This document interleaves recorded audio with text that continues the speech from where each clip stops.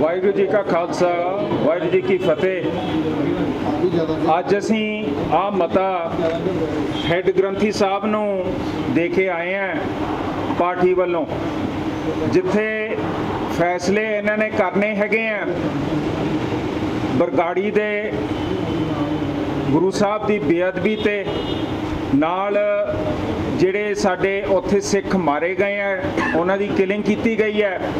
328 ਸਰੂਪਾਂ ਦਾ ਮਸਲਾ ਹੈ, ਮਾਫੀਨਾਮੇ ਦਾ ਮਸਲਾ ਹੈ, ਤੇ ਇਹਦੀ ਜ਼ਿੰਮੇਵਾਰੀ ਦੇ ਉੱਤੇ ਕਿ ਕਿਹਦੀ ਜ਼ਿੰਮੇਵਾਰੀ ਹੈ ਇਸ ਕੰਮ ਦੀ, ਫੈਸਲਾ ਲਿੱਤਾ ਜਾਊਗਾ।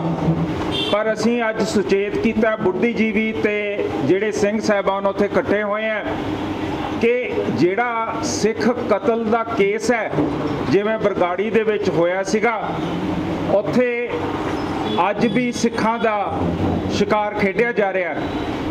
ਅਸੀਂ ਮਤੇ ਵਿੱਚ ਹੈੱਡ ਗ੍ਰੰਥੀ ਸਾਹਿਬ ਨੂੰ ਹੋਰਾਂ ਨੂੰ ਬੇਨਤੀ ਕੀਤੀ ਹੈ, ਅਮਰੀਕਾ ਤੇ ਕੈਨੇਡਾ ਨੇ ਸਪਸ਼ਟ ਰੂਪ 'ਚ ਇੱਕ ਤਾਂ ਜਿਹੜਾ ਯਾਦਵ ਸੀਗਾ, ਦੂਜਾ ਰੌ ਦਾ chief Samant Goel NSA director ਜਿਹੜਾ ਕੈਬਨਿਟ ਲੈਵਲ ਅਪਾਇੰਟੀ ਹੈ, ਅਜੀਤ ਦੋਵਾਲ ਤੇ ਹੁਣ ਅਮਿਤ ਸ਼ਾਹ ਦਾ ਨਾਂ ਇਹਦੇ 'ਚ ਆ ਰਿਹਾ ਨਾਲ ਹੀ ਪ੍ਰਾਈਮ ਮਿਨਿਸਟਰ ਆਫਿਸ ਦਾ ਨਾਂ ਆ ਰਿਹਾ ਜਿੱਥੇ ਕੈਬਨਿਟ ਦੀ ਜੁਆਇੰਟ ਰਿਸਪੌਂਸਿਬਿਲਿਟੀ ਹੁੰਦੀ ਹੈ, ਸਮੂਹ ਕੈਬਨਿਟ ਦਾ ਨਾਂ ਟਾਰਗੇਟਡ ਕਿਲਿੰਗ ਆਫ 6 ਕੈਨੇਡਾ ਤੇ ਅਮਰੀਕਾ ਦੇ ਵਿੱਚ ਸਿੱਧੀ ਉਂਗਲ ਚੁੱਕੀ ਜਾ ਰਹੀ ਹੈ। ਅਸੀਂ ਇਹ ਸਿੱਖ ਪ੍ਰਤੀ ਜਿਹੜਾ ਇਕੱਠ ਕਰਕੇ ਫੈਸਲਾ ਲੈਣਾ ਹੈ ਉਹਦੇ ਵਿੱਚ ਬੇਨਤੀ ਕੀਤੀ ਹੈ ਕਿ ਨਾਲ ਦੀ ਨਾਲ ਅਮਿਤ ਸ਼ਾਹ ਦੇ ਉੱਤੇ, ਨਰਿੰਦਰ ਮੋਦੀ ਦੇ ਉੱਤੇ, ਅਜੀਤ ਦਵਾਲ ਦੇ ਉੱਤੇ ਇਹ ਜਿਹੜੇ ਹੈੱਡ ਗ੍ਰੰਥੀ ਸਾਹਿਬ ਤੇ ਹੋਰ ਜਥੇਦਾਰ ਇਕੱਠੇ ਹੋ ਰਹੇ ਆ ਉਹਦੇ ਉੱਤੇ ਵੀ ਸਿੱਖ ਕੌਮ ਨੂੰ ਕੋਈ ਆਵਾਜ਼ ਦੇਣ। ਭਾਰਤ ਨੇ ਹੁਣ 40 ਸਾਲ ਹੋ ਗਏ 1984 ਨੂੰ ਹਰਮੰਦਰ ਸਾਹਿਬ ਦੇ ਉੱਤੇ ਹਮਲਾ ਕਰਤਾ ਕਾਲ ਤਖਤ ਸਾਹਿਬ ਟਾਈਟੇਰੀ ਕਰਤੇ। 25000 ਲਾਸ਼ਾਂ ਉਸ ਸਮੇਂ ਦੀਆਂ। ਉਹਦਾ ਕੋਈ ਵੇਰਵਾ ਨਹੀਂ ਦਿੱਤਾ। ਆਪਰੇਸ਼ਨ ਵੁੱਡਰੋਜ਼ 'ਚ ਟਾਰਗੇਟਡ ਕਿਲਿੰਗ ਸਿੱਖਾਂ ਦੀ ਕੀਤੀ ਹੈ। ਉਹਦੇ ਬਾਅਦ ਸੈਂਟਰ ਦੇ ਸਰਕਾਰ ਅਧੀਨ ਕੇਪੀਐਸ ਗਿੱਲ ਅਜੀਤ ਦੋਵਾਲ ਆਈਬੀ ਦਾ ਮੁਖੀ ਹੁੰਦਾ ਸੀ। ਉਹਨਾਂ ਨੇ ਹਫ਼ਤੇ ਸਿੱਖਾਂ ਦੇ ਮਾਰਨ ਦੇ ਬੰਨੇ ਹੋਏ ਸੀਗੇ। ਖਾਲਰਾ ਸਾਹਿਬ ਨੇ 25000 ਲਾਸ਼ਾਂ ਸ਼ਮਸ਼ਾਨ ਘਾਟਾਂ 'ਚ ਕੱਢੀਆਂ। ਉਹਦਾ ਵੀ ਕੋਈ ਸਾਡੇ ਜਥੇਦਾਰ ਸਹਿਮਾਮਨਾ ਨੇ ਸਵਾਲ ਜਵਾਬ ਹਜੇ ਤੱਕ ਚੱਕਿਆ ਨਹੀਂ ਹੈ। ਜਿੱਥੇ 1984 ਦੀ ਗੱਲ ਕਰਨੇ ਆ ਇਹਨਾਂ ਦਿਨਾਂ 'ਚ ਹੀ ਦਿੱਲੀ 'ਚ ਸਾਡੇ ਬੀਬੀਆਂ ਦਾ ਬਲਾਤਕਾਰ ਕੀਤਾ ਗਿਆ, ਬੱਚੇ ਮਾਰੇ ਗਏ, ਬੰਦਿਆਂ ਨੂੰ ਵੱਢ ਕੇ, ਸਾੜ ਕੇ, ਟੌਰਚਰ ਕਰਕੇ ਮਾਰਿਆ ਗਿਆ। ਉਹਦਾ ਇਸ ਦੇਸ਼ ਨੇ ਕੋਈ ਜਵਾਬ ਦਾ ਕੁਝ ਨਹੀਂ ਕੀਤਾ ਹੈਗਾ।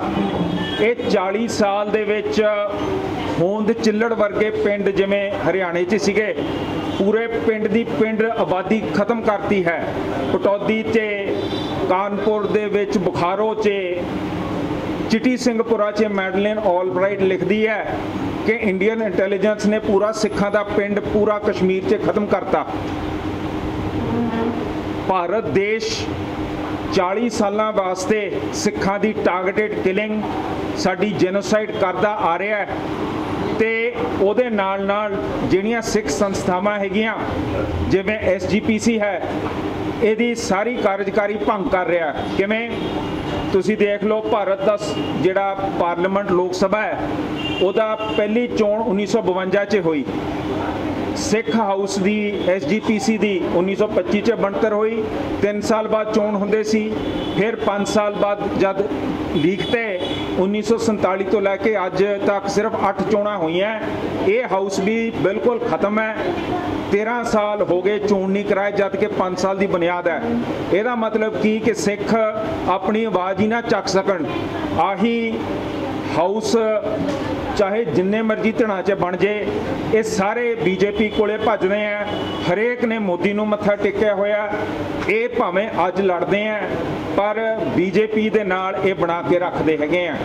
ਸੋ ਅਸੀਂ ਸਮਝਦੇ ਆ ਕਿ ਜਦ ਬੀਜੇਪੀ ਹੀ, ਇਹ ਗਵਰਨਮੈਂਟ ਹੀ ਸਿੱਖਾਂ ਦੀ ਬਾਹਰਲੇ ਦੇਸ਼ਾਂ 'ਚ ਸ਼ਿਕਾਰ ਖੇਡ ਰਹੀ ਹੈ, ਤਾਂ ਜਿੱਥੇ ਉਸ ਸਮੇਂ ਦੀ ਅਕਾਲੀ ਦਲ ਬੀਜੇਪੀ ਦੀ ਸਰਕਾਰ ਸੀ, ਜਿਹੜੀ ਸੁਖਬੀਰ ਬਾਰ- ਬਾਦਲ ਚਲਾਉਂਦਾ ਸੀ। ਉਸ ਕੈਬਨਿਟ ਦੀ ਵੀ ਜੁਆਇੰਟ ਰਿਸਪੌਂਸਿਬਿਲਿਟੀ ਸੀਗੀ। ਉਹਦੇ ਵਿੱਚ ਵੀ ਬੀਜੇਪੀ ਦੇ ਨੁਮਾਇੰਦੇ ਸੀਗੇ, ਜਦ ਬਰਗਾੜੀ ਹੋਇਆ। ਉਸੇ ਤਰ੍ਹਾਂ ਅੱਜ ਜੁਆਇੰਟ ਰਿਸਪੌਂਸਿਬਿਲਿਟੀ ਇਸ ਕੈਬਨਿਟ ਦੀ ਹੈ, ਜਿਹੜੇ ਸਿੱਖਾਂ ਨੂੰ ਬਾਹਰ ਟਾਰਗੇਟ ਕਿਲਿੰਗ ਕਰ ਰਿਹਾ ਹੈ। ਉਹਦਾ ਵੀ ਲੇਖਾ ਜੋਖਾ ਹੋਣਾ ਚਾਹੀਦਾ। ਅਖੀਰ 'ਚ 40 ਸਾਲ ਪੂਰੇ ਹੋਣ ਤੇ ਦਸੰਬਰ ਦੇ ਅਖੀਰਲੇ ਦਿਨਾਂ 'ਚ 25 26 27 28 29 30 ਛੋਟੇ ਸਾਹਿਬਜ਼ਾਦਿਆਂ ਦਾ ਸ਼ਹੀਦੀ ਜੋੜ ਮੇਲਾ ਹੈ।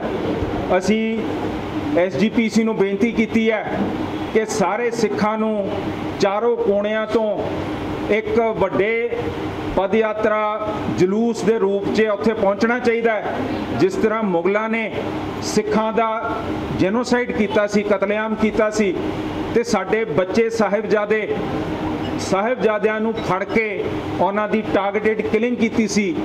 ਅੱਜ ਵੀ ਉਹੀ ਹਾਲਾਤ ਹੈ। ਭਾਰਤ ਮੁਗਲ ਹਕੂਮਤ ਤੋਂ ਘੱਟ ਰੋਲ ਨਹੀਂ ਨਿਭਾ ਰਿਹਾ।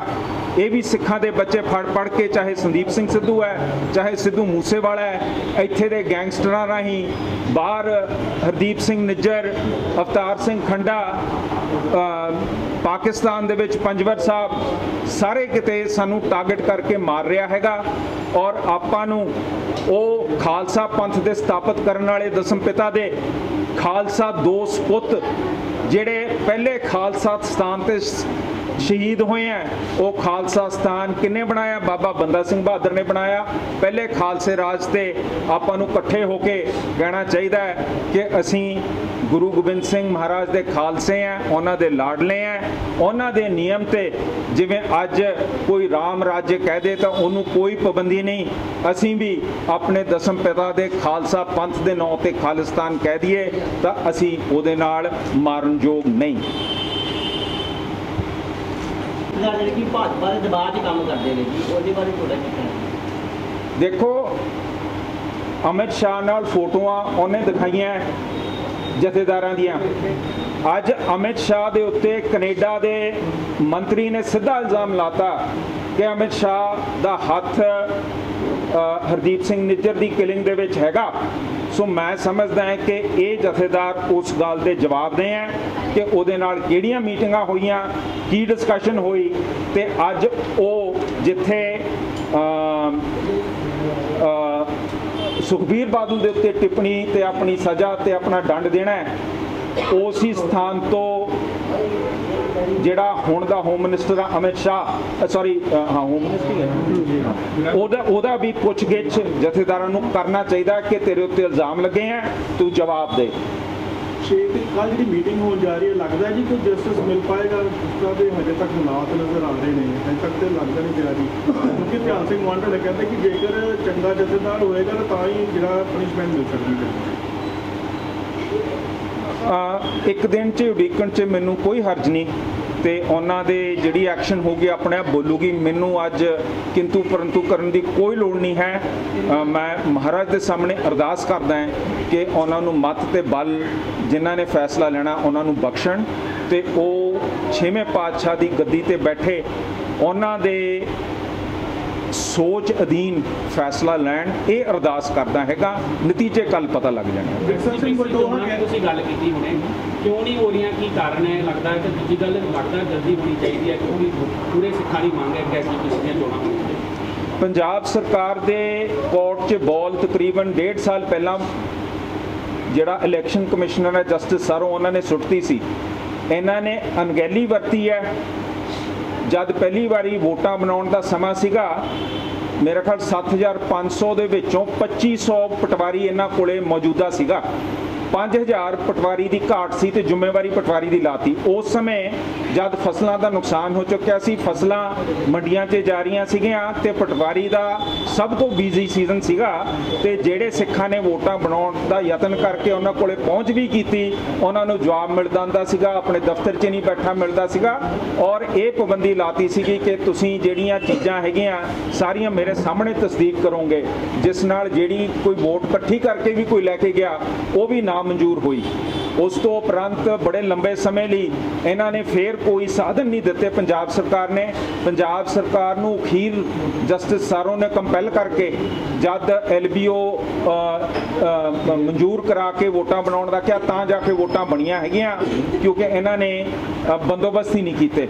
ਸੋ ਅਸੀਂ ਸਮਝਦੇ ਹੈਗੇ ਆ ਕਿ ਇਹ ਸੈਂਟਰ ਦੀ ਸਰਕਾਰ ਦੀ ਨਲਾਇਕੀ, ਪੰਜਾਬ ਸਰਕਾਰ ਦੀ ਨਲਾਇਕੀ ਔਰ ਉਹਦੇ ਕਰਕੇ ਇਹ ਚੋਣ ਨਹੀਂ ਕੀਤੇ ਗਏ। ਔਰ ਇਸ ਤੋਂ ਪਿੱਛੇ ਜਿਹੜੀ ਇਹ ਭਾਰਤ ਦੀ ਨੀਅਤ ਹੈ ਕਿ ਸਿੱਖ ਨੌਜਵਾਨ ਕਤਲ ਕਰੋ, ਇਹਨਾਂ ਦਾ ਜੈਨੋਸਾਈਡ ਕਰੋ ਔਰ ਜਿਹੜੀਆਂ ਸਿੱਖ ਸੰਸਥਾਵਾਂ ਹੈ, ਉਹਨਾਂ ਨੂੰ ਬਿਲਕੁਲ ਭੰਗ ਕਰ ਦੋ। ਭੰਗ ਕਿਵੇਂ ਕਰਨਾ ਹੈ? ਕਿ ਆਪਾਂ ਨੇ ਇਹਨਾਂ ਦਾ ਜਿਹੜਾ ਜਮਹੂਰੀਅਤ ਢਾਂਚਾ ਹੈ, ਉਹ ਜਮਾ ਖਤਮ ਕਰ ਦੇਣਾ ਹੈਗਾ ਤਾਂ ਕਿ ਸਿੱਖੀ ਪ੍ਰਫੁੱਲਤ ਨਾ ਹੋ ਸਕੇ, ਸਾਡੇ ਧਰਮ 'ਚ ਤਬਦੀਲੀ ਆ ਜਾਏ। ਔਰ ਇਹ ਮੇਰਾ ਖਿਆਲ ਭਾਰਤ ਸਰਕਾਰ ਦੀ ਸਾਜ਼ਿਸ਼ ਹੈ। ਤੁਸੀਂ ਦੇਖੋ, ਹੁਣ ਕੈਨੇਡਾ ਦੇ ਵਿੱਚ ਇੰਡੀਅਨ ਕਮਿਸ਼ਨ ਜਿਹੜੀ ਕਿ ਇੰਡੀਆ ਕਹਿੰਦੀ ਅਸੀਂ ਧਰਮ ਨਿਰਪੱਖ ਹੈ, ਉਹਨਾਂ ਨੇ ਜਾ ਕੇ ਮੰਦਿਰ ਦੇ ਵਿੱਚ ਕੈਂਪ ਲਾ ਲਿਆ।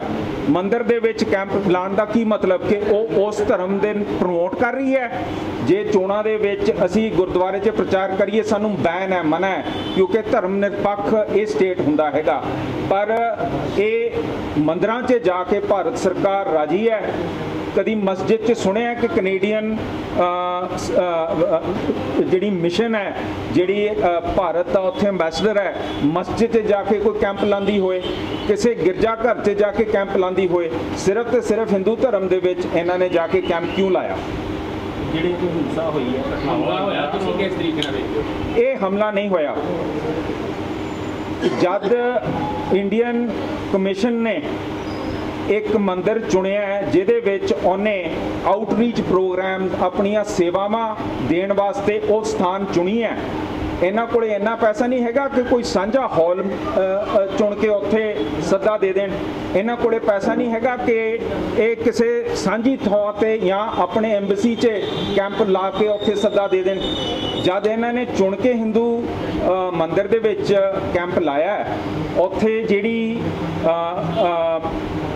ਕੈਨੇਡਾ ਨੇ ਸਿੱਧਾ ਇਲਜ਼ਾਮ ਰਾਜਦੂਤ ਤੇ ਲਾਇਆ ਹੋਇਆ ਸੀਗਾ। ਉੱਥੇ ਸਿੱਖ ਕਿਲਿੰਗ ਦਾ ਮੁੱਦਾ ਚੱਲਿਆ ਹੋਇਆ ਸੀ। ਸਿੱਖਾਂ ਨੇ ਇੰਡੀਅਨ ਕਮਿਸ਼ਨ ਦਾ ਪ੍ਰੋਟੈਸਟ ਕੀਤਾ ਹੈ। ਉਹ ਪ੍ਰੋਟੈਸਟ ਦੇ ਵਿੱਚ ਤੂ ਤੂ ਮੈਂ ਮੈਂ ਹੋਈ ਹੈ। ਦੋ ਤਰਫੀ ਹੋਈ ਹੈ, ਇੱਕ ਤਰਫੀ ਨਹੀਂ ਹੋਈ ਹੈ। ਜਿਹੜੇ ਉਸ ਕਮਿਊਨਿਟੀ ਦੇ ਸੀ, ਉਹਨਾਂ ਨੇ ਆ ਕੇ ਸਿੱਖਾਂ ਤੇ ਕਿੰਤੂ ਪ੍ਰੰਤੂ ਕੀਤੀ ਹੈ। ਸਿੱਖਾਂ ਨੇ ਆਪਣਾ democrat right to protest against the killers of Sikhs ਉੱਥੇ ਪ੍ਰਗਟਾਇਆ ਸੀਗਾ, ਉਹਦੇ ਵਿੱਚ ਪਿੜ ਪਈ ਹੈ। ਇਹ ਦੋ ਤਰਫੀ ਗੱਲ ਹੋਈ ਹੈ, ਇੱਕ ਤਰਫੀ ਗੱਲ ਨਹੀਂ ਹੋਈ। ਇਹ ਬਿਲਕੁਲ ਮੰਦਰ ਦੀ ਟਾਰਗੇਟਿੰਗ ਨਹੀਂ ਹੋਈ ਹੈ ਔਰ ਨਾ ਹੀ ਸਿੱਖ ਕਰੂਗਾ। ਮੈਂ ਤੁਹਾਨੂੰ ਮਿਸਾਲ ਦੇਣਾ ਚਾਹੁੰਦਾ ਭਿੱਖੀ ਪਿੰਡ 'ਚ, ਜਿੱਥੇ ਵਿਰਸੇ ਸਿੰਘ ਮੁਲਟੋਹੇ ਨੇ ਮੰਦਰ ਦੇ ਵਿੱਚੋਂ ਮੂਰਤੀਆਂ ਕੱਢ ਕੇ ਟੋਬੇ 'ਚ ਸੁੱਟ ਕੇ ਕਬਜ਼ਾ ਕੀਤਾ ਸੀ। ਸਾਡੇ ਪਾਰਟੀ ਦੇ ਸਰ ਸਿਮਰਨਜੀਤ ਸਿੰਘ ਮਾਨ ਨੇ ਉੱਥੇ ਖੜ ਕੇ ਮੂ- ਮੂਰਤੀਆਂ ਕਢਾਈਆਂ, ਮੰਦਰ 'ਚ ਜਿਵੇਂ ਉਹਨਾਂ ਦੀ ਰੀਤ ਰਿਵਾਜ ਆ, ਦੁੱਧ ਨਾਲ ਧੋ ਕੇ ਵਾਪਸ ਵਸਾਈਆਂ ਤੇ ਉਹਦਾ ਕਬਜ਼ਾ ਤੁੜਾਇਆ। ਸੋ ਸਿੱਖ ਕੌਮ ਕਿਸੇ ਮੰਦਰ ਦੇ ਉੱਤੇ ਹਮਲਾ ਕਰਕੇ ਰਾਜੀ ਨਹੀਂ ਹੈ। ਸਗੋਂ ਜਦ ਬਾਬਰੀ ਮਸਜਿਦ ਢਹਿ ਢੇਰੀ ਹੋਇਆ ਸੀ, ਸਾਡੀ ਪਾਰਟੀ ਨੇ ਜਾ ਕੇ ਬਾਬਰੀ ਮਸਜਿਦ ਦੇ ਢਹਿ ਢੇਰੀ ਦੇ ਬਰਖਲਾਫ ਧਰਨਾ ਲੈ ਕੇ ਗਈ ਸੀ ਯੂਪੀ ਚ ਅਰੈਸਟ ਹੋਏ ਸੀਗੇ। ਅਸੀਂ ਕਿਸੇ ਪੂਜਾ ਦੀ ਸਥਾਨ ਦੇ ਉੱਤੇ ਕਬਜ਼ੇ, ਰੌਲਾ ਪਾਉਣ ਦੇ ਹੱਕ 'ਚ ਨਹੀਂ ਹੈ।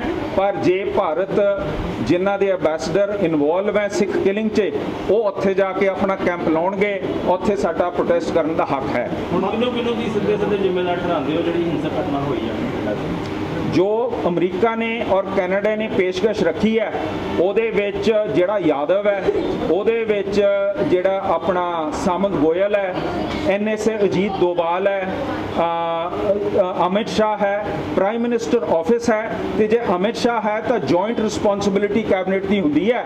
ਉਹ ਸਾਰੇ ਕੈਬਨਿਟ ਦੀ ਜ਼ਿੰਮੇਵਾਰੀ ਇਸ 'ਚ ਅਸੀਂ ਠਹਿਰਾਉਂਦੇ ਹਾਂ ਤੁਸੀਂ ਕੱਲ ਜਿਹੜੀ ਮੀਟਿੰਗ ਹੋਣ ਜਾ ਰਹੀ ਹੈ ਬੁੱਧੀਜੀਵੀਆਂ ਦੀ ਉਹਦੇ ਵਿੱਚ ਕੀ ਲੱਗਦਾ ਕਿ ਸੁਖਬੀਰ ਸਿੰਘ ਬਾਦਲ ਤੇ ਕੋਈ ਨਾ ਕੋਈ ਜਿਹੜਾ ਆ ਸਕਦਾ ਉਹ ਫੈਸਲਾ। ਜਾਂ ਜ਼ਰੂਰ ਹੋਊਗਾ। ਕਲੀਨ ਚਿੱਟ ਦਿੱਤੀ ਜਾਏਗੀ। ਜ਼ਰੂਰ ਉਸ ਦੇ ਉੱਤੇ ਫੈਸਲਾ ਹੋਣਾ ਹੀ ਹੋਣਾ ਹੈ ਕਿਉਂਕਿ ਸਾਰਾ ਪੰਜਾਬ ਜਾਣੂ ਹੈ ਕਿ ਇਹਨਾਂ ਦੀ ਸਰਕਾਰ 'ਚ ਪਹਿਲਾਂ ਤਾਂ ਬੇਅਦਬੀ ਹੋਈ। ਇਹਨਾਂ ਨੇ ਰਾਮ ਰਹੀਮ ਨੂੰ ਮਾਫੀਨਾਮੇ ਦਿੱਤੇ। ਗੋਲੀ ਇਹਨਾਂ ਨੇ ਕਹਿ ਕੇ ਚਲਾਈ, ਜਿਹੜਾ ਚੇਨ ਆਫ ਕਮਾਂਡ ਹੈ, ਉਹ ਤਾਂ ਰਿਪੋਰਟਾਂ 'ਚ ਵੀ ਨਿਕਲ ਗਿਆ ਕਿ ਉੱਤੇ ਬਾਦਲ ਸਾਹਿਬ ਦੀ ਗੱਲ ਹੋਈ ਹੋਮ ਮਿਨਿਸਟਰ ਨਾਲ ਗੱਲ ਹੋਈ, ਫੇਰ ਜਾ ਕੇ ਇੱਥੇ ਗੋਲੀਆਂ ਚੱਲੀਆਂ, ਉਹ ਐਸਟੈਬਲਿਸ਼ਡ ਹੈ। ਸਗੋਂ ਇਹਨਾਂ ਨੇ ਕਵਰ ਅਪ ਵੀ ਕੀਤਾ ਕਿਵੇਂ? ਜਿਹੜੀਆਂ ਗੋਲੀਆਂ ਚਾਹੀਆਂ ਰਾਈਫਲ 'ਚੋਂ ਨਿਕਲਦੀਆਂ, ਹਰੇਕ ਰਾਈਫਲ ਦੀ ਜਿਹੜੀ ਉਹਦੇ ਵਿੱਚ ਧਾਰੀ ਬਣਾਈ ਹੁੰਦੀ ਹੈ, ਉਹ ਹਰੇਕ ਰਾਈਫਲ ਦੀ ਵਿੱਚ ਰਾਈਫਲਿੰਗ ਜੋ ਹੁੰਦੀ ਹੈ ਯੂਨੀਕ ਹੁੰਦੀ ਹੈ। ਜਿਵੇਂ ਆਪਣੇ ਫਿੰਗਰਪ੍ਰਿੰਟ ਹੁੰਦੇ ਆ ਰਾਈਫਲ ਤੋਂ ਜਦ ਗੋਲੀ ਨਿਕਲਦੀ ਹੈ ਉਹਦੇ ਉੱਤੇ ਜਿਹੜੀਆਂ ਝਰੀਟਾਂ ਪੈ ਜਾਂਦੀਆਂ, ਉਹ ਕੱਲੇ ਕੱਲੇ ਰਾਈਫਲ ਦੀ ਨਾਲੀ ਦੀ ਵੱਖਰੀ ਹੁੰਦੀ ਹੈ। ਤੇ ਉਹ ਰਾਈਫਲ ਦੀ ਗੋਲੀ ਨਿਕਲੀ ਹੋਈ, ਜਦ ਸਬੂਤ ਦੇ ਕਮਰੇ 'ਚ ਪਈ ਸੀ, ਉਹ ਰਾਈਫਲ ਉਹ ਗੋਲੀਆਂ ਨੂੰ ਝਰੀਟਾਂ ਮਾਰ ਕੇ ਉਹਨਾਂ ਨੂੰ ਖਤਮ ਰਾਈਫਲਿੰਗ ਖਤਮ ਕਰਤੀ, ਤਾਂ ਕਿ ਪਤਾ ਨਾ ਲੱਗੇ ਕਿ ਕਿਹੜੀ ਰਾਈਫਲ 'ਚ ਗੋਲੀ ਚੱਲੀ ਹੈ? ਇਹ ਕੌਣ ਕਰ ਸਕਦਾ ਹੈ? ਸਬੂਤ ਰੂਮ 'ਚ ਕੌਣ ਜਾ ਸਕਦਾ ਹੈ? ਇਹ ਸਰਕਾਰ ਉਹਦੇ ਨੁਮਾਇੰਦੇ ਪੁਲਿਸ ਇਹੀ ਐਵੀਡੈਂਸ ਰੂਮ 'ਚ ਜਾ ਕੇ ਇੰਟਰਫੀਅਰੈਂਸ ਕਰ ਸਕਦੇ ਆ ਸੋ ਨਾ ਕਿ ਇਹਨਾਂ ਨੇ ਸਿੱਖਾਂ ਨੂੰ ਮਾਰ ਕੇ ਉਹਨੂੰ ਲੁਕਾਉਣ ਦੀ ਕੀਤੀ ਆ। ਉਹਨਾਂ ਨੇ ਐਵੀਡੈਂਸ ਵੀ ਬਰਬਾਦ ਕਰਤਾ। ਹਰੇਕ ਸਿੱਖ ਨੂੰ ਪਤਾ ਹੈਗਾ Akali Dal and and and BJP ਸਰਕਾਰ ਦੇ ਸਮੇਂ 'ਚ ਇਹ ਕੰਮ ਹੋਇਆ ਬੀਜੇਪੀ ਵੀ ਇਹਦੀ ਹਮਾਇਤੀ ਸੀ। ਹਾਂਜੀ? ਮੈਂ ਹੁਣੇ ਬੇਨਤੀ ਕੀਤੀ ਹੈ ਕਿ ਅਕਾਲ ਤਖਤ ਸਾਹਿਬ ਅ, ਦੀ ਸਥਾਨ ਹੈ। ਗੁਰੂ ਸਾਹਿਬ ਅਕਾਲ ਤਖਤ ਸਾਹਿਬ ਤੇ ਪਹੁੰਚੇ। ਕਿਹਦੀ ਜ਼ਮੀਰ ਜਗਾ ਸਕਦੇ ਆ ਕਿਹਦੀ ਨਹੀਂ ਇਹ ਗੁਰੂ ਦੇ ਹੱਥ 'ਚ ਅਸੀਂ ਆਸ ਰੱਖਦੇ ਆ ਕਿ ਛੇਵੇਂ ਪਾਤਸ਼ਾਹ ਦੀ ਗੱਦੀ ਦੇ ਉੱਤੇ ਬਿਲਕੁਲ ਬੰ- ਬੰਦੇ ਨੂੰ ਨਾ ਭੈ ਹੋਊਗਾ ਨਾ ਡਰ ਹੋਊਗਾ। ਉਹ ਆਪਣੇ ਕੋਸ਼ਿਸ਼ ਕਰਕੇ ਦੇ ਦੂਗਾ। ਬਾਕੀ ਕੱਲ ਦੇ ਫੈਸਲੇ ਤੇ ਆਪਾਂ ਇਸ ਗੱਲ ਦੀ ਟਿੱਪਣੀ ਕਰਾਂਗੇ। ਅੱਜ ਅਸੀਂ ਉਹਨਾਂ ਨੂੰ ਬੇਨਤੀ ਕਰਕੇ ਆਏ ਹਾਂ ਕਿ ਇਹ ਕੱਲੀ ਗੱਲ ਨਹੀਂ ਹੈ, ਸਿੱਖਾਂ ਨੂੰ ਮਾਰਨ।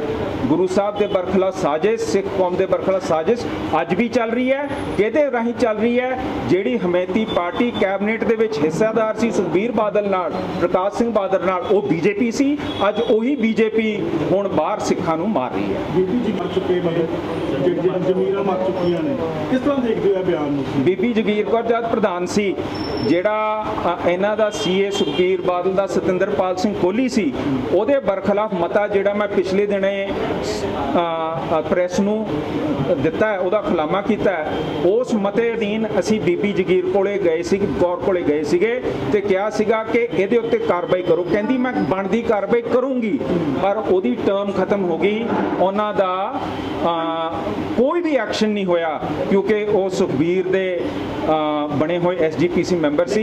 ਜੇ ਜੇ ਉਹ ਕਹਿੰਦੀ ਹੈ ਕਿ ਜ਼ਮੀਰਾਂ ਮਰ ਗਈਆਂ ਫਿਰ ਉਹਦੇ ਤਜਰਬੇ ਰਾਹੀਂ ਜੋ ਮੈਂ ਦੇਖਿਆ ਮੈਂ ਮੰਨ ਸਕਦਾ ਉਹਦੀ ਗੱਲ ਕਿਉਂਕਿ ਉਹਨੇ ਆਪਣੀ ਮਰੀ ਹੋਈ ਜ਼ਮੀਰ ਮੇਰੇ ਸਾਹਮਣੇ ਸਾਬਤ ਉਹ ਕੀਤੀ। ਕਹਿੰਦੇ ਨਵੇਂ ਮੈਂਬਰ ਬਣਨਗੇ ਤੇ ਸ਼ਾਇਦ ਨਵਾਂ ਪ੍ਰਧਾਨ ਫੇਰ ਚੁਣਿਆ ਜਾਵੇ ਲੇਕਿਨ ਜ਼ਮੀਰਾਂ ਮਰ ਚੁੱਕੀਆਂ ਨੇ ਲੋਕਾਂ ਨੇ ਮੈਨੂੰ ਫਤਵਾ ਦਿੱਤਾ ਸੀਗਾ ਕਿ ਮੱਤੀ ਕਮਰਿਆਂ ਦੇ ਵਿੱਚ ਅਸੀਂ ਤੁਹਾਨੂੰ ਵੋਟਾਂ ਕਰਾਂਗੇ ਕਿ ਜ਼ਮੀਰਾਂ ਮਰ ਚੁੱਕੀਆਂ ਨੇ। ਕੀ ਲੱਗਦਾ ਵੋਟਾਂ ਕਰਕੇ ਜ਼ਮੀਰਾਂ ਮਰ ਗਈਆਂ ਨੇ? ਜਿਹੜੀ ਬੀਬੀ ਨੂੰ। ਮੈਨੂੰ ਬਿਆਨ ਕੀਤੇ ਕਿ ਅਸੀਂ ਬਣਦੀ ਕਾਰਵਾਈ ਸਤਿੰਦਰਪਾਲ ਸਿੰਘ ਕੋਹਲੀ ਤੇ ਕਰਾਂਗੇ ਤੇ ਕੀਤੀ ਨਹੀਂ।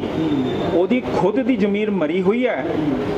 ਉਹਦੇ ਸਾਥੀਆਂ ਜਿਹੜੇ ਉਹਨੂੰ ਵਿਸ਼ਵਾਸ ਦਾ ਦਿੰਦੇ ਸੀ ਜੇ ਉਹਨੂੰ ਹੁਣ ਉਹਦਾ ਤਜਰਬਾ ਹੋ ਗਿਆ ਫਿਰ ਉਹਦੀ ਤੇ ਉਹਦੇ ਸਾਥੀਆਂ ਦੀ ਜ਼ਮੀਰ ਦਾ ਉਹਨੇ ਸਹੀ ਵੇਰਵਾ ਦਿੱਤਾ। ਮਾਨ ਲੱਗਦਾ ਹੈ ਕਿ ਵਿਕਸਾ ਸਿੰਘ ਬਲਡੋਆ ਲਗਾਤਾਰ ਅਰਦਾਸ ਕਰ ਰਹੇ ਨੇ ਕਿ ਜਿਹੜੀ ਵੀਡੀਓ ਆ ਜਦ ਤੱਕ ਦਿੱਤੀ ਜਾਵੇ ਜਿਹੜੀ ਉਹਨਾਂ ਦੇ ਨਾਲ ਬਹਿਸ ਬਤਾਈ ਹੋਈ ਮੈਂ ਕਹਿੰਦਾ ਬਹੁਤ ਸਾਰੀ ਗਾਲਾਂ ਵੀ ਕੱਢੀਆਂ ਗਈਆਂ ਨੇ ਵਿੱਚ। ਤੁਸੀਂ ਮੰਗ ਕਰਦੇ ਹੋ ਕਿ ਉਹ ਵੀਡੀਓ ਜਦ ਤੱਕ ਹੋਣੀ ਚਾਹੀਦੀ ਹੈ ਤਾਂ ਕਿ ਲੋਕਾਂ ਬਿਲਕੁਲ ਜੀ ਬਿਲਕੁਲ ਹੋਣੀ ਚਾਹੀਦੀ ਹੈ। ਔਰ ਅ, ਚੋਣਾਂ ਚੱਲ ਰਹੀਆਂ ਨੇ ਜਿਮਨੀ ਚੋਣਾਂ ਦੇ ਵਿੱਚ ਕੀ ਰਹੇਗਾ ਤੁਹਾਡੀ ਪਾਰਟੀ ਦਾ ਔਰ ਚਾਰੇ ਜਿਹੜੇ ਨੇ ਉਹ ਕੈਂਡੀਡੇਟ ਖੜੇ ਕੀਤੇ ਜਾਣਗੇ ਜੀ? ਚਾਰੇ ਸਾਡੇ ਤਿੰਨ ਕੈਂਡੀਡੇਟ ਖੜੇ ਆ ਸੁਖਰਾਜ ਸਿੰਘ ਜੀ ਅ, ਗਿੱਦੜਬਾਹੇ ਤੋਂ ਗੋਬਿੰਦ ਸਿੰਘ ਬਰਨਾਲੇ ਤੋਂ ਤੇ ਡੇਰਾ ਬਾਬਾ ਨਾਨਕ ਤੋਂ ਲਵਪ੍ਰੀਤ ਸਿੰਘ ਜੀ ਸਾਡੇ ਕੈਂਡੀਡੇਟ ਖੜੇ ਕੀਤੇ ਗਏ। ਚੱਬੇਵਾਲ 'ਚ ਸਾਡਾ ਹੈਨੀਗਾ ਕੈਂਡੀਡੇਟ ਅਸੀਂ ਸਮਝਦੇ ਹਾਂ ਕਿ ਜਿਹੜੇ ਚੰਗੇ ਸਮੇਂ 'ਚ ਗੁਰੂ ਸਾਹਿਬ ਦੇ ਪੰਥ ਦੇ ਨਾਂ ਤੇ ਤੁਰਦੇ ਸੀਗੇ। ਅੱਜ ਨਿਰਾਸ਼ਤਾ ਨਾਲ ਪੰਥ ਦਾ ਨਾਂ ਹੀ ਛੱਡ ਗਏ। ਜ਼ਮੀਨ ਹੀ ਛੱਡ ਕੇ ਮੈਦਾਨ ਛੱਡ ਕੇ ਹੈਗੇ ਆ। ਇਹ ਇਹ ਇਹ ਬਹੁਤ ਢੈਂਦੀ ਕਲਾ ਵਾਲੀ ਗੱਲ ਹੈ ਕਿ ਜੇ ਕਿਸੇ ਨੂੰ ਤਨਖਾਹ ਲੱਗੀ ਹੋਏ ਔਰ ਉਹ ਸੰਗਤ 'ਚ ਵਿਚਰ ਨਾ ਸਕੇ, ਉਹਦੇ ਨਾਂ ਵਿਚਰਨ ਕਰਕੇ ਤੁਸੀਂ ਆਪਣੇ ਗੁਰੂ ਕੇ ਪੰਥ ਨੂੰ ਬਿਠਾ ਦਿਓ ਇਹ ਤਾਂ ਬਹੁਤ ਹੀ ਅ, ਢੈਂਦੀ ਕਲਾ ਵਾਲੀ ਗੱਲ ਇਹਨਾਂ ਨੇ ਕੀਤੀ ਹੈ ਪਰ ਸਾਨੂੰ ਮਾਣ ਹੈ। ਅੱਜ ਗੁਰੂ ਕੇ ਪੰਥ ਦੇ ਨਾਂ ਤੇ ਸ਼੍ਰੋਮਣੀ ਅਕਾਲੀ ਦਲ ਅੰਮ੍ਰਿਤਸਰ ਜੋ ਕਿ ਅਕਾਲ ਤਖਤ ਸਾਹਿਬ ਤੇ ਬੰਤਰ ਕਰਕੇ ਹਮੇਸ਼ਾ ਹੀ ਸਿੱਖਾਂ ਦੀ ਗੱਲ ਕਰਦਾ ਆ, ਪੰਥ ਦੀ ਗੱਲ ਕਰਦਾ ਆ, ਪੰਜਾਬ ਦੀ ਗੱਲ ਕਰਦਾ ਆ, ਅੱਜ ਉਹ ਗੁਰੂ ਦੀ ਸੋਚ ਦੇ ਉੱਤੇ ਮਾਨਸ ਕੀ ਜਾਤ ਸਵੇ ਏਕ ਪਛਾਨਿਓ, ਸਰਬੱਤਾ ਭਲਾ, ਗਰੀਬ ਦੀ ਰੱਖਿਆ ਤੇ ਸੰਭਾਲ, ਉਸ ਨਿਯਮ ਤੇ ਅੱਜ ਉਹ ਲਗਾਤਾਰ ਤੁਰਦਾ ਆਇਆ, ਅੱਜ ਵੀ ਖੜਾ ਹੈ। ਘੱਟੋ ਘੱਟ ਗੁਰੂ ਕਾ ਪੰਥ ਅੱਜ ਸੰਗਤ ਦੀ ਸੇਵਾ 'ਚ ਹਾਜ਼ਰ ਹੈ ਤੇ ਮੈਂ ਹਰੇਕ ਪੰਥ ਦਰਦੀ ਨੂੰ ਬੇਨਤੀ ਕਰਦਾ ਕਿ ਜਰੂਰ ਆਪਣੇ ਕੈਂਡੀਡੇਟ ਸੰਭਾਲੋ ਜਿਹੜੇ ਮੈਦਾਨ ਭੱਜ ਕੇ ਛੱਡ ਗਏ ਉਹਨਾਂ ਨੂੰ ਮੈਂ ਸਰ ਮਹਾ ਸਿੰਘ ਦੀ ਮੁਕਤਸਰ ਦੀ ਗੱਲ ਯਾਦ ਕਰਾਉਂਦਾ ਉਹ ਪੰਥ ਨੂੰ ਛੱਡ ਕੇ ਚਲੇ ਗਏ ਸੀ ਪਰ ਮੁੜ ਕੇ ਆ ਕੇ ਉਹਨਾਂ ਨੇ ਆਪਣੀ ਜੰਗ ਲੜੀ ਤੇ ਗੁਰੂ ਸਾਹਿਬ ਤੋਂ ਮੁਕਤੀ ਪਾਈ। ਤੇ ਤੁਸੀਂ ਐ ਨਾ ਸੋਚੋ ਕਿ ਜੇ ਤੁਸੀਂ ਇਹ ਅ, ਤਨਖਾਹੀਆਂ ਕਰਕੇ ਤੁਸੀਂ ਬਹਿ ਗਏ ਹੋ ਪੰਥ ਨੂੰ ਤੁਹਾਡੀ ਲੋੜ ਨਹੀਂ ਤੇ ਤੁਹਾਡੀ ਜ਼ਿੰਮੇਵਾਰੀ ਨਹੀਂ। ਮਹਾ ਸਿੰਘ ਬਣੋ ਉਠੋ ਔਰ ਆਪਣੀ ਲੜਾਈ ਫੇਰ ਤੋਂ ਚੁੱਕੋ। ਮਾਈ ਭਾਗੋ ਦਾ ਇਹ ਸੰਦੇਸ਼ ਹੈ। ਤੁਸੀਂ ਤਨਖਾਹੀਏ ਦੀ ਗੱਲ ਕੀਤੀ ਅੱਜ ਸੁਖਬੀਰ ਸਿੰਘ ਬਾਦਲ ਦੇ ਜਿੰਨੇ ਵੀ ਅਕਾਲੀ ਦਲ ਦੇ ਵਰਕਰ ਸੀਗੇ ਜਾਂ ਲੀਡਰ ਸੀਗੇ ਉਹਨਾਂ ਵੱਲੋਂ ਪ੍ਰੋਟੈਸਟ ਕੀਤਾ ਗਿਆ ਕਿਸਾਨਾਂ ਦੇ ਹੱਕ ਦੇ ਵਿੱਚ। ਲੇਕਿਨ ਅੱਜ ਸੁਖਬੀਰ ਸਿੰਘ ਬਾਦਲ ਜਿੰਦਾਬਾਦ ਦੇ ਨਾਰੇ ਵੀ ਸੁਣਨ ਨੂੰ ਮਿਲੇ। ਲੱਗਦਾ ਤਨਖਾਹੀਆ ਹੋਣ ਤੋਂ ਬਾਅਦ ਇਸ ਤਰ੍ਹਾਂ ਦੇ ਨਾਰੇ ਜਿਹੜੇ ਨੇ ਉਹ ਨਹੀਂ ਲੱਗਣੇ ਚਾਹੀਦੇ ਸਨ। ਜਿਹੜੀ ਬਾਦਲ ਦਲ ਦੀਆਂ ਸਰਕਾਰਾਂ ਲਗਾਤਾਰ ਬਣਦੀਆਂ ਆਈਆਂ ਉਹਦੇ ਵਿੱਚ ਇਹਨਾਂ ਨੇ ਬਹੁਤ ਸਾਰਿਆਂ ਦਾ ਫਾਇਦਾ ਕਰਾਇਆ। ਭਾਵੇਂ ਸੰਗਤ ਦਾ ਫਾਇਦਾ ਨਹੀਂ ਹੋਇਆ ਪਰ ਕਈਆਂ ਦਾ ਇਹਨਾਂ ਨੇ ਫਾਇਦਾ ਕੀਤਾ ਹੈਗਾ। ਅਹੁਦੇ ਦਿੱਤੇ ਹੈ ਮਾਨ ਸਭ ਕੁਝ ਮਿਲਿਆ ਹੈਗਾ। ਤਨਖਾਹੀਏ ਲੱਗਦਾ ਹੈ ਮੈਂ ਮੈਂ ਤੁਹਾਨੂੰ ਦੱਸ ਰਿਹਾ ਇਹ ਜਿੱਥੇ ਹੋਣਾ ਨਹੀਂ ਚਾਹੀਦਾ ਸੀ ਉੱਥੇ ਇਹਨਾਂ ਨੇ ਆਪਣੇ ਫਾਇਦੇ ਦੇਖ ਕੇ ਉਹ ਮੋੜੇ ਆ ਨਾ ਕਿ ਜਿਹੜਾ ਇਹਨਾਂ ਦੇ ਉੱਤੇ ਮਾੜਾ ਕਰਾਰ ਲਾਇਆ ਹੋਇਆ। ਉਹਦੀ ਪੰਥ ਦੀ ਨਿਭਾਈ ਹੈ।